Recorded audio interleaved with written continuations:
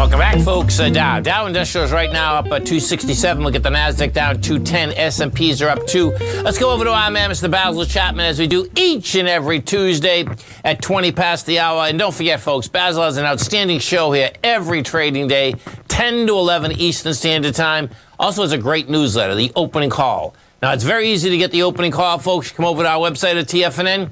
Go right into featured content. You'll see it right on the front page. You just hit the opening call. You hit subscribe. You can get the opening call for one month for $149. You can get it for six months for 695, which is a savings of $199 or 22%. And you can get it for one year for 1195, which is a savings of $593 or 33%. now, they all come, folks, with a 30 day money back guarantee. So check it out. If you enjoy it, no problem. You're going to con- continue to be in charge. If for some reason it doesn't work for you, you're going to get your money back. As you get over to Basil's page, you're going to see that Basil has a tremendous amount of archive workshops that he's done. I, I think approximately we have 12 of them over there. It's a great service, great education. Basil Chapman, Happy New Year.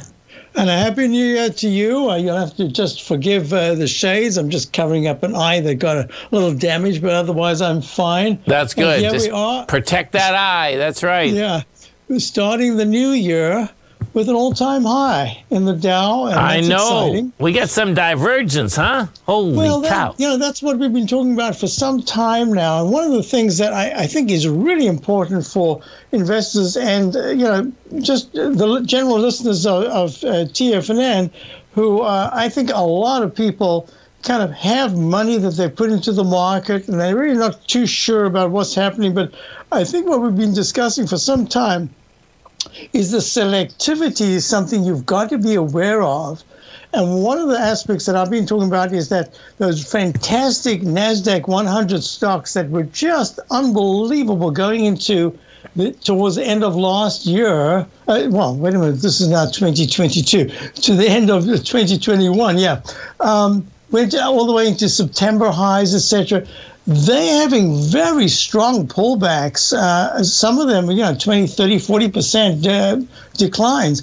So, what's really important, and I think I've done this for subscribers, is I've tried to focus on what has worked, what in this whole rotation of sector uh, diversification what is happening here? And I think I've, I've really loved the Dow for a long time. I call it the Dow 30. It has nothing to do with the Dow Industrials going back to the uh, 1800s. This is just this this is now the Dow 30, and I love the mix. It's got a perfect mix for this general market, and you can see that today. Here it is at an all-time high, 36,856.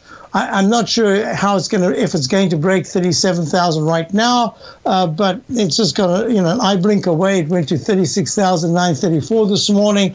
Most importantly, I love to draw trend lines. I like to draw this V-shaped pattern. I like to draw uh, what I call inside track repellent line. There's, there was one here on the Dow. You can see in the daily chart this green and red line and how it broke out above it and went more than one to one to the upside.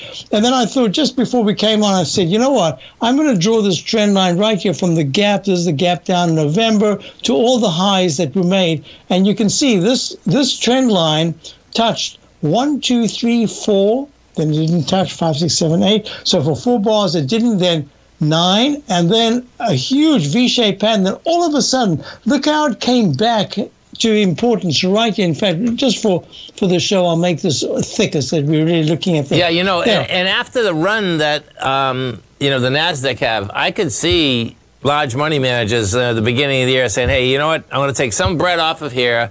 I'm putting some in the dow I mean, it's just when you're, we're in the probability business, folks, and you know, I, I can see that because the Dow, not that it's been lagging, but you know what I'm saying. It's, it's just it hasn't been the Nasdaq or the NDX 100. That's correct. Sure, so, you know? so as the rotation goes, they're trying to find money on what they think is still strong but one of the maybe lagging indexes, and, and, to a certain extent, that's what we're looking at here. But look, there are all these resistance lines in the weekly. Yes, the Chapman Wave inside track repellent zone, just like the line I showed you over here, which we snuck above and pulled back.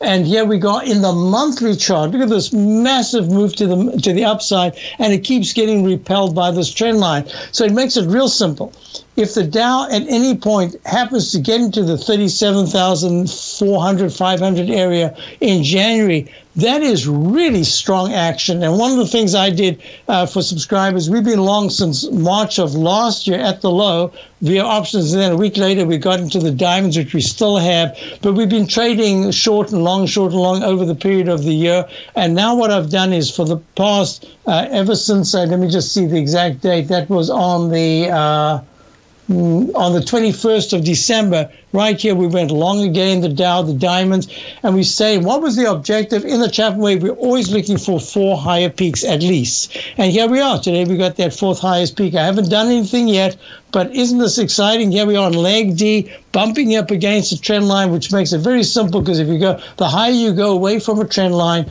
the more the less important it becomes as a magnet. So that's important to me. And I just, you know, we're talking about these trend lines. Look at this. Uh, in the QQQ, it's the same technique. Yes, this is what I call the Chapman wave inside track repellent zone. What did the Q, the index 100, the Qs do? 408.71 was the all-time high on the 22nd of November drops down to 378.90, makes a big U-shaped pattern or an arch formation, takes out the left side low, and then has a really good rally. This rally technically should have been right at the 4, 411, 412 all-time high level, and it stalled where? Right. It's amazing how this works. Right at that repellent zone. So it got it got uh, declining today. So what I've done for subscribers to my opening call We've had some stocks that were making all time highs uh, a couple of days ago. I said, let's be real careful now. We're raising some cash. And today we actually started a long position in one of the indexes, not the actual index itself that is normally looked at, but in the value index. The same thing, but the value. And this particular index today um, is up uh, almost 1%. And its colleague, the, the regular one, is not acting as well at all. So I think what we're looking at here is that fund managers are starting to look at value. Probably they're going to be looking more at dividend stocks. So I think we've got a rotation for 2020 that came out. It didn't happen by accident. It happened over a period of, I'd say, two months it's been happening.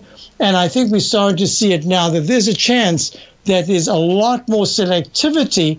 And I, you know, I don't see a major sell off right here because of this rotation. And one of the one of the things that kept me uh, on the long side is that the IAI, the iShares Broker Dealer Index, was holding very nicely, and it too had a resistance and today it's having a very strong move. And I thought, well, uh, one of the stocks that we had just briefly, unfortunately, we just got stopped out of it. And now it's doing exactly what we wanted.